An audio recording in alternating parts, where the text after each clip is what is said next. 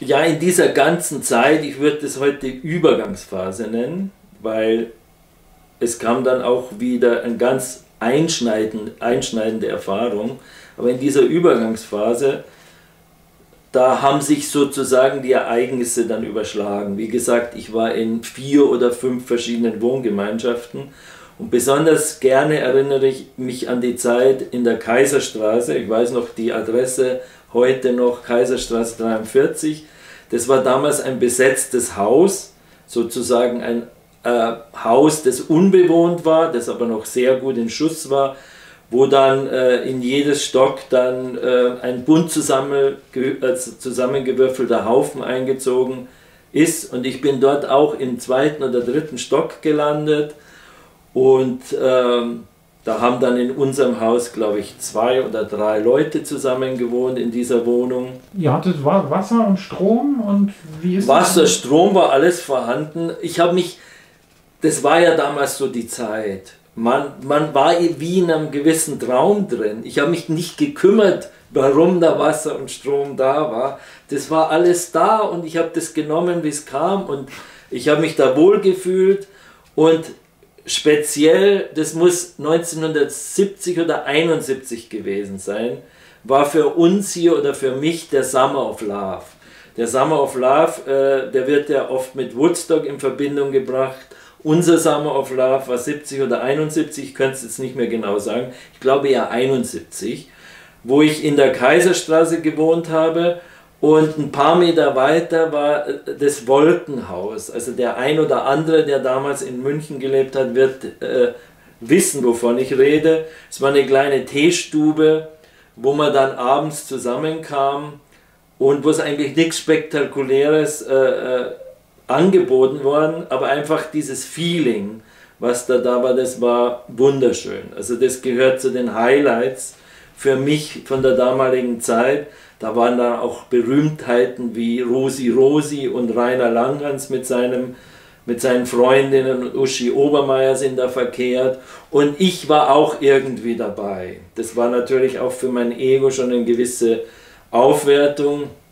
Aber ich muss schon sagen, das waren nicht unsere Hauptwerte. Also die Hauptwerte waren einfach zu leben und zu fühlen, wir sind Teil einer Bewegung und Teil einer Zeit, die schon was Besonderes war. Und es war, wie gesagt, diese Aufbruchsstimmung. Wir wussten aber nicht, wo es hinführt.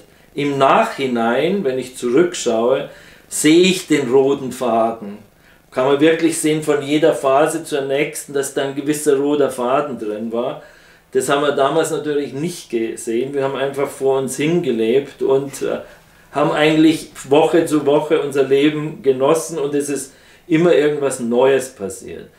Äh, in der Zeit war ich auch zum Beispiel in England, äh, da sind wir dann hingedrängt natürlich.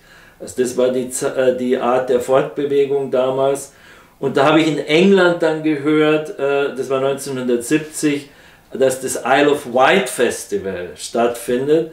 Das war im Zuge des Woodstock Festivals sozusagen ein Plagiat wo man dann versucht hat, das auch in andere Kontinente zu übertragen. Da war das Isle of Wight Festival in England sehr berühmt. Da kamen auch, glaube ich, 250.000 Leute. Und dort habe ich Bob Dylan und Joe Cocker live gesehen und habe beim Ian äh, in seinem Zelt geschlafen. Und ja, das waren so Dinge, die wie im Traum eigentlich so vorüberzogen. Ich war auch in Österreich in der Zeit ich hatte mit einer österreichischen Gemeinschaft einen Hof gekauft in der Steiermark, wo wir dann dort leben wollten und äh, ökologischen Anbau betreiben wollten. Dann habe ich aber gemerkt, das passt nicht mit denen. Dann hatte ich nur Geld ins Sand gesetzt. Und so ging es eigentlich Schlag auf Schlag. Das war aber alles noch scheinbar richtungslos. Und in dieser Zeit war es dann so, dass sich äh, meine Suche eigentlich die ausgelöst wurde durch das Buch Siddhartha von Hermann Hesse, die dann immer intensiver wurde und ich dann äh, mit Leuten zusammen war, die da schon ein Stück weiter war. Und damals war die Zeit, wo ganz, ganz viele Leute nach Indien aufgebrochen sind. Und ich hatte damals einen Bekannten, kann ich mich noch sehr gut erinnern, der hat bei mir vorübergehend gewohnt. Und der hat dieses ganze Image des Indienfahrers und des Morgenlandfahrers so ausgestrahlt und der hat meditiert und las immer in dem Buch äh, Autobiografie eines Yogis. Das war damals äh, ein Buch neben Carlos Castaneda, neben Siddhartha, das du eigentlich immer überall wiedergefunden hast. Und durch dieses Buch ähm, Autobiografie eines Yogis dann bei mir auch der Wunsch erwacht, selbst nach Indien zu gehen.